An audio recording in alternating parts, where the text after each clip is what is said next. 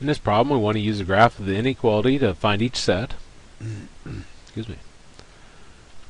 So A is x is less than 7. I won't write down all the set builder notation. And B is x is greater than or equal to 1. First thing we want to do is graph these. So I got uh, 1 here, and I got uh, 7 here. Now x is greater than or equal to 1. Well, uh, there's a line underneath the greater than, so that's going to be a bracket, and greater than I shade to the right. So it looks like that. This one, x is less than 7. This will be a parentheses. There's no line underneath this. The only time you put a bracket is when there's a line underneath there. And it's a less than, so it's going to the left. There we go. Okay.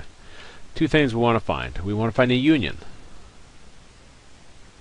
Now the union is where anything is shaded. Uh, the union is OR, and uh, if I look at this, it's shaded everywhere. So everywhere is going to be negative infinity to positive infinity.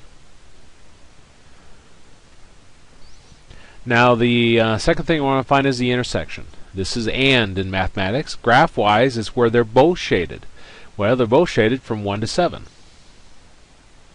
Now there's a bracket on the 1, so bracket on the 1. There's a parentheses on the 7, so parentheses on the 7.